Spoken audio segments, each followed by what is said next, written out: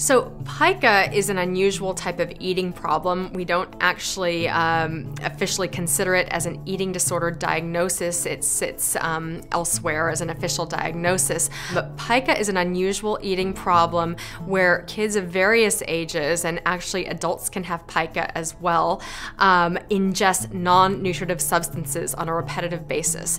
And the different types of non nutritive substances that may be ingested are quite variable. Somewhat more typical typical things are things like ice chips, but perhaps also paint chips, other types of substances that um, typically or often have a metallic quality to them. So things like clay or soil may be part of the pica syndrome.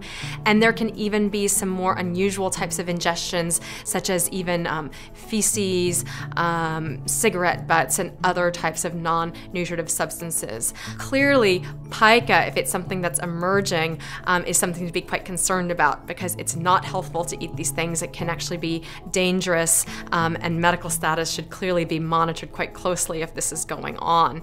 We don't really know um, exactly why pica comes out in some people. Um, there does seem to be in some folks with pica um, low uh, measures in the blood of certain mineral levels, so there have been some ideas that maybe pica comes out of a mineral deficiency, although we don't really know that that's cause and effect. We just know that mineral levels can be low um, in, in some of these patients, and you know maybe that's actually an after effect of the fact that they're eating non-nutritive substances.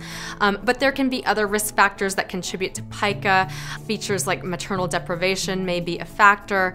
Features like developmental uh, delay may be another factor or Pica um, can be addressable, although uh, there's no one sort of treatment that is known to sort of really work, you know, as a cure. Um, but treatments um, tend to look at behavioral modification um, strategies as well as education about what's nutritive and not nutritive. And some medications may be helpful. Consultation with a physician may sort of weigh into that as well. Um, and sometimes pica spontaneously remits as well.